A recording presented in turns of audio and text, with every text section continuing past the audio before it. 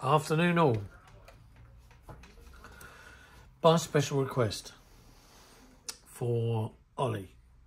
This is my Iwata Neo. And this is the second one I've owned in uh, well the first one lasted seven years, so this one's lasted two years at the moment and still going strong. So basically, um, what it is, is he asked, um, he had a bit of a problem with his, and basically it was how to clean them. So I'm not the god, but this is how I clean mine. So if I finished a, a spraying session, um, then this is what I'd do. So undo that, take that out. Now if I went for a full clean, I'd do that back up. I undo this. And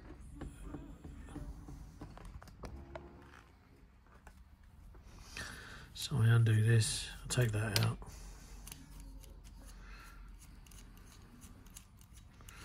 So this is basically like a, not a part, but a full service. Undo that. Undo that. Undo that. And then last but not least, I did have wherever it's gone. I can't see it now. This is like a little spanner, but I haven't I haven't got it. So basically you just look for where the flat spots are there and just give it a, little bit of a turn. And off comes that bit there. So it's all open now. Can take the cup off, but I tend not to bother but sometimes it's it's worth it because you can see like there there's a few crumbs. And then sometimes it's always good to clean around in there. So what we do is we get this and usually I get some of this which is uh, Mr. Leveler. Soak the earbud. So you've got to a little thing down there which you can just give it a quick twizzle and bring it out. So there's a bit of crap for starters. This has always got stuff in the bottom.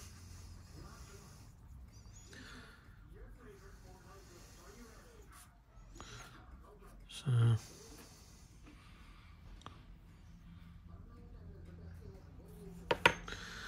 that one there just put this on here.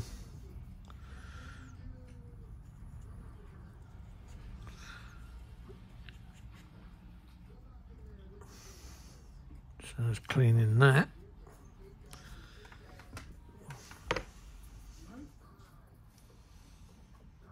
As a matter of fact, yeah. small bottle of thinners here. Just does the same thing. You're not trying to level the paint, trying to clean it.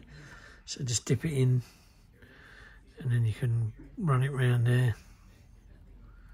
Because this thinners is hot, it uh, it melts the paint straight away if there's anything untoward, which there is on that. You can see that it's uh,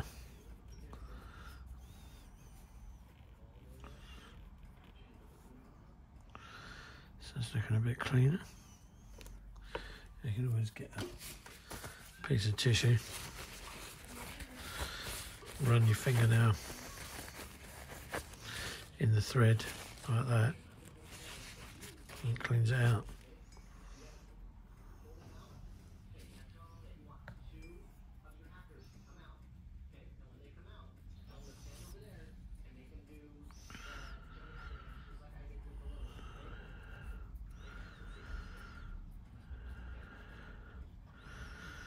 Now I'll have to get my my mate on here to show you a proper way to clean your airbrush because he collects airbrushes.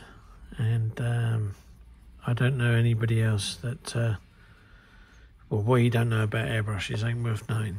So he's kind of like the, the guru of it.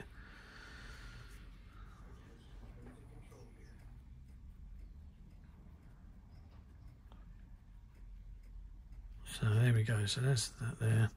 Now you do get some crap in there sometimes. I found the best way to get rid of that is put a drop of gear in there. And then um, this here. You can push that in there. It's just like a pipe cleaner. And when you put it in there that it's all coming out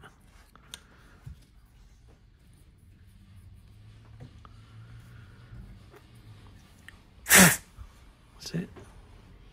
Skin's going white look that's that, that's this stuff. Kills your skin. Right. Couple more see if I can make this into a point.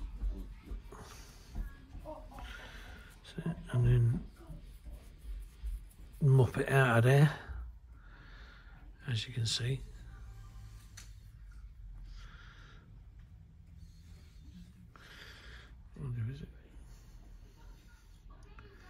as you can see right it's a bit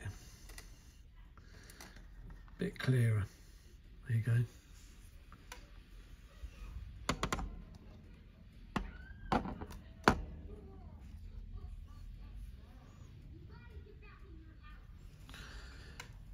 You can do the same thing again. You want to get as much as you can out of that. and then, like I say, and then just go round and round and round like that with it. Using one of these. And then rub it off on there. And that's how dirty that is. So, right, that's that bit.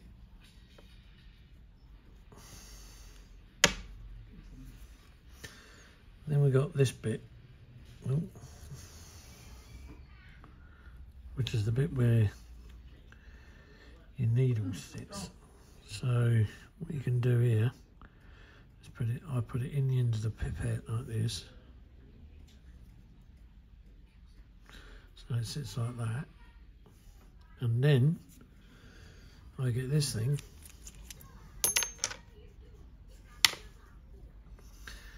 yeah and then anything that is in that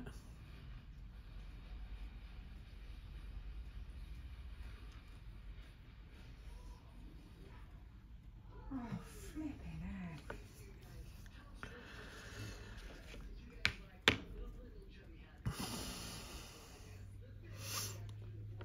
put it over there and then the old needle you just twizzle it around. Just to try and break any loose but at the same time. Want to clean that off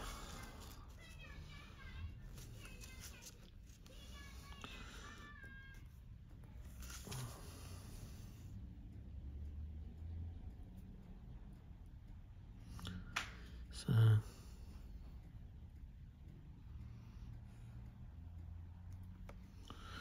Where'd it go? There it is.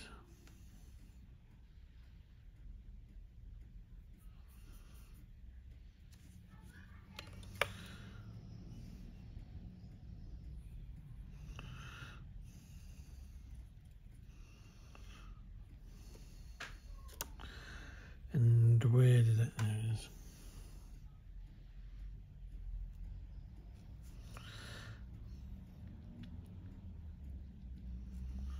So, Right. Then we got this. So this gets paint on it sometimes, which is the brass valve. It's all that sticking. And then the only other thing I've known to get paint on it was this, but this actually looks pretty clean. And sometimes you get Oh, hang on, I'm too close. Sometimes you get paint in there. But this all looks pretty clean. So, the only thing I'll do is give that a little bit of a once over. Like so.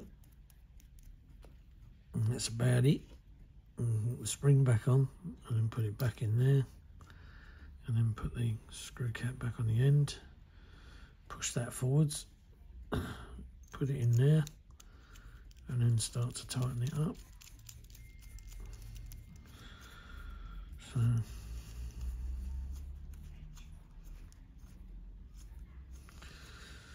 I bet my mate's screaming now. What are you doing with that airbrush? he doesn't like it when I do things like this. And the only reason he doesn't like it is because he knows he knows better. Oh, they're fighting down there by the sounds of it, so you just clean that out in there. Oh, there's a little bit of dirt there, not much. And then the other thing is in the, oops, in the well. I don't know whether there's any dirt in there or not, but know. Oh, a bit, not much. Right, and then down there, you can see there's a little bit down there, there's not much down there. And then if you want, you can get this, and you can just poke it down there, or best way is like that. Right, that's it. Give you a little point, put it back on. That's it. Right, and then just a little nip. That's it. Then this can go back on, this clean bit here. Then we just got this bit here to clean up, which is the little shroud. Yep, doo Right, that's clean now. Put that back on. Then you get your needle. Now this I was told by a guy in Farnborough. I can't remember the name of the shop, but when I took it there, it wasn't this brush, it was the one I had before. He said about putting needles in. So you get them like that. this is undone. You don't need it off. You just don't need to undo it and then you get your needle like that and then you put it in and you don't do that you do this. So you slide it down like that. Till it stops. And you just nip it up. That's it. That is it. But I've forgotten one thing. And that was this. This piece here. So there's a little thumbnail bit missing there. So take the needle right out. Pull this back Oh no. Put that in and that sits in the hole where that all goes and then again so we get the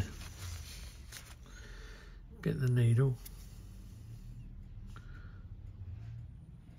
Rest it on the side, focus it in, slide it down until, let's bring it out of it. So you put it in and you slide it down to your fingers. You only gently don't grab it like a bloody spanner or a hammer. And that's that. Then we've got some Iwata lube. That can go on there.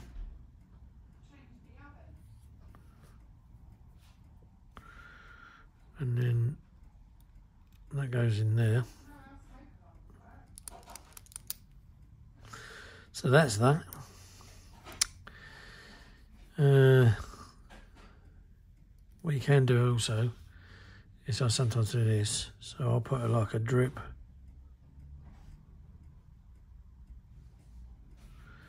of lube on the needle so that when it goes in, you twist it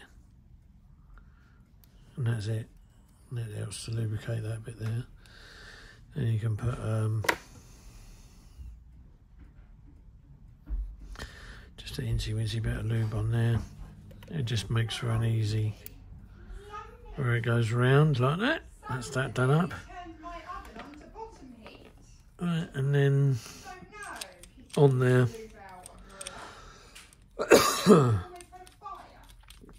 wallop. That's done up. That's done up. That's all done up. Right. Then we had some air. And then and then put a little bit in, a couple of drips.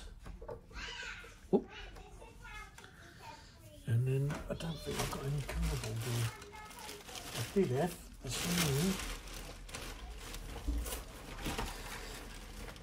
Oh, mate. You want a bit. There we are. Might be able to rip a bit off this little box behind me. Hold up.